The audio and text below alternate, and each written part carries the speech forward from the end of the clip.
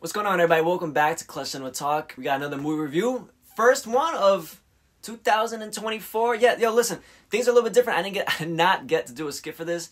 I have like a little update about how movie reviews are going to work on this channel. But the, the, the plan is that we're, we're going to try and do one every week.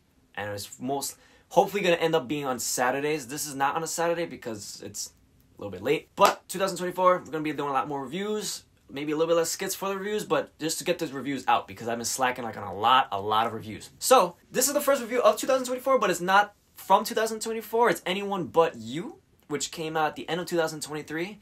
And there are no spoilers in this review, so don't even have to worry about it if you're really, really fiending to go watch the movie and haven't seen it, and you're like, please don't spoil it. There's no spoilers. Don't you even worry about that. Leave a like, leave a comment, and make sure you subscribe for more movie reviews. Let's do this thing. Anyone but you. I, I saw this trailer reaction. If you want to see me like react to the trailer, it's right here. And I was like, yo, I, am not really like a rom com. Not. I don't know too many rom coms. Not that I'm not a rom com kind of guy. This had Sydney Sweeney, Glen Powell, and it was like about what, what was what what was it about? Help me.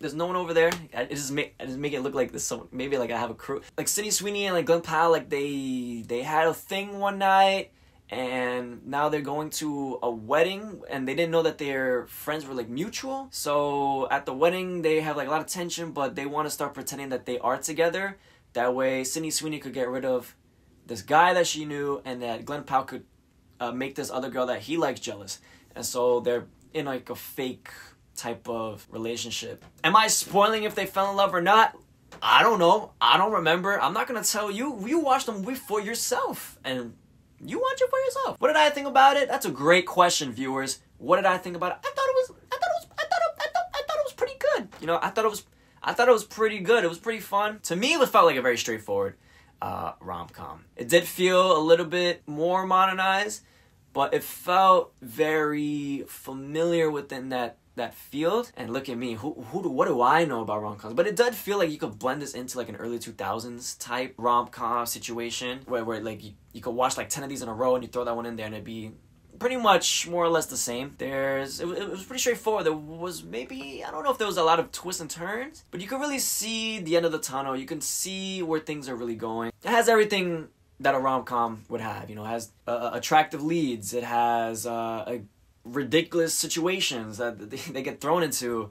It's good humor. That there was a lot of good humor. There's a lot of laugh out loud uh, moments throughout the film. You don't really get too much dive into secondary characters. They're more they were there with like a very basic like archetype. What they that they serve that purpose for the film. It was really just about Sydney Sweeney and Glen Powell's characters, who I think I think they did a good job. I think they had a pretty good decent. Uh, I think they had a decent, de- decent, decent chemistry.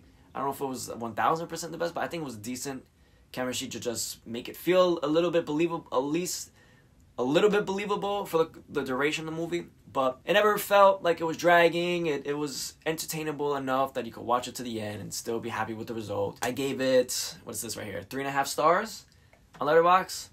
That's not bad. That's not bad. That's pretty high considering if you see the rest of my uh, list from 2023, where that is. Speaking about lists, if you haven't seen my top 10 movies of 2023, go check that out right now. Anyone but you is not on that list. I'll just spoil that for you right now. But if you want to go watch that, definitely go watch that. So, those of you who have seen it, let me know down below what you thought about Anyone But You. Where does it rank among your rom com movies? Tell me. I'm not the rom com expert. If you are, you tell me. Was it good? Was it trash? Oh no, I, I had a good time. I, I had a, I had a good time. Does it have to do with